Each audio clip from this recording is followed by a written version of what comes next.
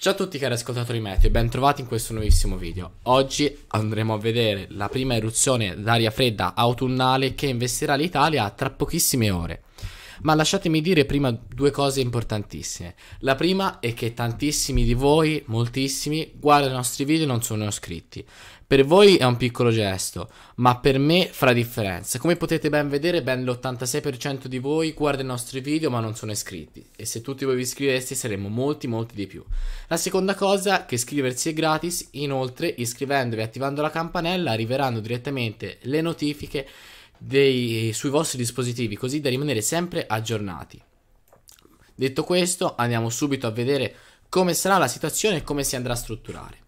Ebbene, in questo momento aria abbastanza calda, anzi molto calda per il periodo, sta ancora interessando le regioni dell'estremo sud. La Sicilia soprattutto ha temperature tipicamente estive.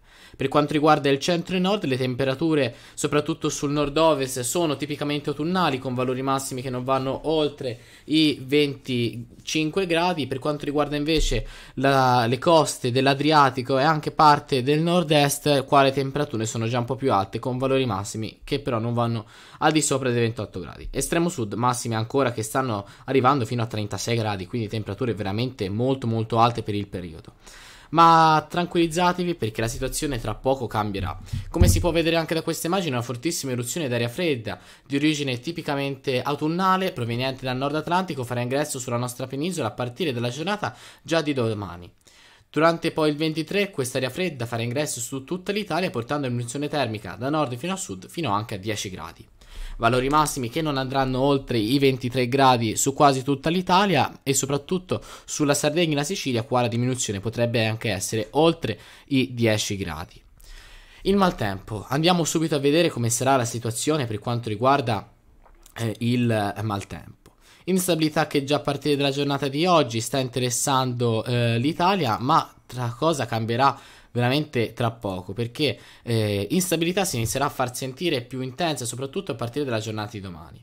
Come possiamo vedere precipitazioni molto abbondanti si dovrebbero andare eh, a formare eh, lungo le coste del medio alto Tirreno interessando prima le coste liguri soprattutto quelle di Levante e poi la Toscana instabilità che si farà anche abbastanza intensa sulle regioni del nord-est quindi interessando Emilia Romagna, Veneto, Friuli, Trentino e anche il nord della Lombardia Qua la neve potrebbe scendere a quote al di sotto dei 2000 metri, localmente eh, arriveranno fino anche a 1700 metri.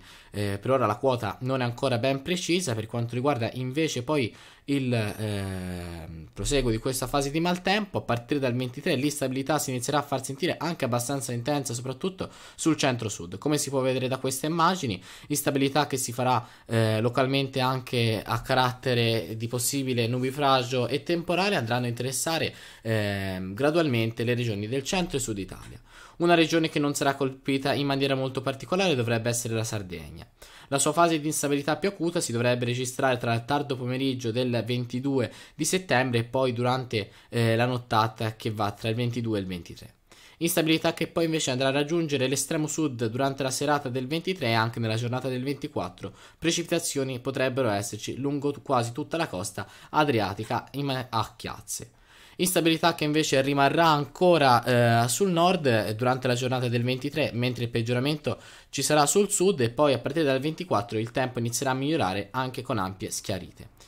Poi a partire dal 25 instabilità che continuerà a persistere al sud perché questo mino depressionario si sposterà verso la Grecia ma comunque mantenendo eh, precipitazioni e un clima tipicamente autunnale per le regioni dell'estremo sud quindi con valori massimi non al di sopra dei 26-27 gradi e localmente anche delle precipitazioni. Quindi amici del sud, il caldo estremo è finito, il caldo africano con tutta probabilità possiamo dire che è finito, ci sarà solamente alta pressione ma non più con il caldo intenso che abbiamo avuto in questi giorni. Se vogliamo andare a vedere anche la neve, come si può eh, vedere da queste immagini, nevicate che non saranno molto abbondanti all'inizio, ci si registreranno precipitazioni nevose, soprattutto eh, durante la giornata tra il 23 e il 24 lungo eh, le Alpi di confine della Lombardia e del Trentino. Comunque gli accumuli non saranno molto ingenti e non andranno al di sopra dei 5 cm. Bene, questo è tutto, vi ringraziamo della visione, questa è la situazione, instabilità localmente anche intensa e rischio di forti precipitazioni lungo le coste del medio-alto Tirreno e poi lungo le coste del centro e del sud Italia. Vi ringraziamo ancora una volta della visione e vi invitiamo nuovamente ad iscrivervi al canale, lasciare un mi piace e attivare la campanella per rimanere sempre aggiornati.